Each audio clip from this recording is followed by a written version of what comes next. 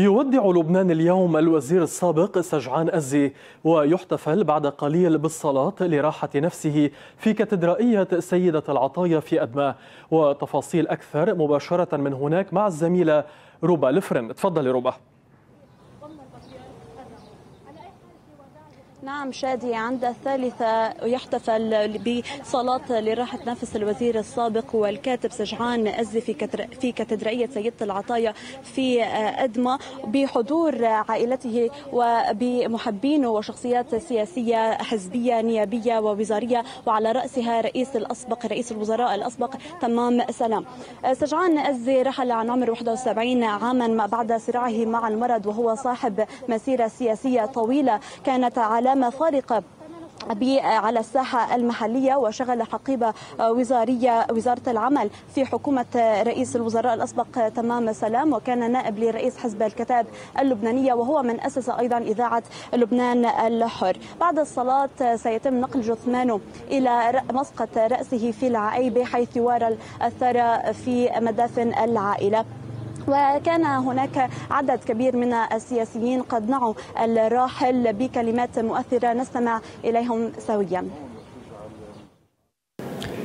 سجعان رفيق النضال كنا سوا بالكتائب وسوا بالقوات وكنا سوا بفريق بشير جميل. وكان عنده أسلوب سجعان شيق ومميز بالكتابة وبالتفكير. بيعرف هالإنسان هذا يكسر الجدار يلي بيكون موجود بين شخص وشخص حتى يقدر يبني جسور. هذا سجعان كثير السجع. فالسجعان لغة هو الذي يسجع كثيرا كما الحمام.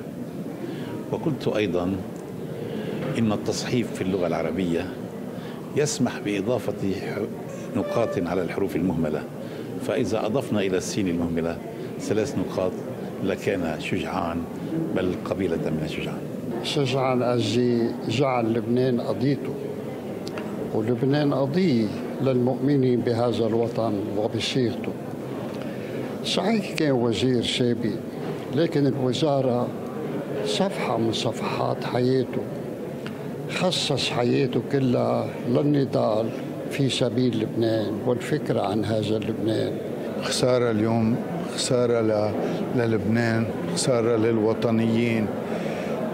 تاريخ تاريخ كبير مناضل مسيحي أصيل آه كاتب شاعر قلم مميز وأنا بتربطني فيه صداقة وبحبه كثير أنا الله يرحمه. سجعان قصدي هو صهري بنفس الوقت خي هو بركة العائلة علاقة نحن وياه حلوة كثير علاقة ثابتة علاقة روحانية علاقة وطنية علاقة يعني أنا خصوصي مع أختي دانيا كثير قريب أنا وياها بالروح كثير فمع سجعان كنت ذات الشيء بقول له سجعان لأنه خيي.